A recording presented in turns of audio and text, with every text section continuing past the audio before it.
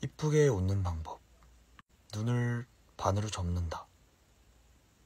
입을 찢는다. 이빨을 보여준다. 합친다.